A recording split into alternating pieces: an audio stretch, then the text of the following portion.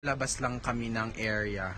This clip was taken by Filipinos held at a Cambodian police station in January. They say it shows they were victims of human trafficking.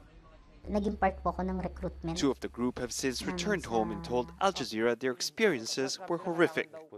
Bruno doesn't want to reveal his identity and says he was made to travel from one country to another illegally and by boat. 17 kami, may maleta po. There were 17 of us in a small wooden boat, including an infant and luggage. That was the most traumatic part because the boat could capsize anytime, and no one would find out if we died. This was their destination in Cambodia, a large business complex with many buildings. Miles says they were given customer service jobs, but then forced to carry out online fraud.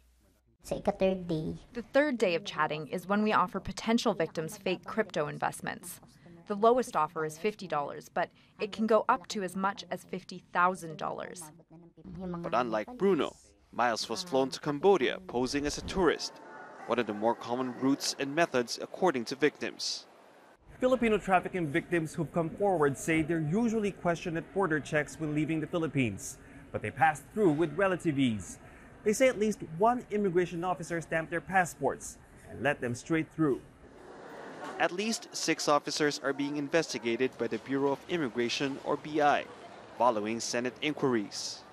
the BI should not be a scene of the crime. It should be the last line of defense for our migrant workers.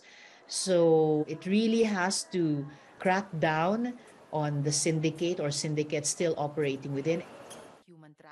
During the legislative hearings, it was also revealed that the government had rescued 200 victims caught in a similar scheme. They were not only from Cambodia, but Laos and Myanmar. That's raised fears. Many more crimes like these are going undetected. Barnaby Lo, Al Jazeera, Manila.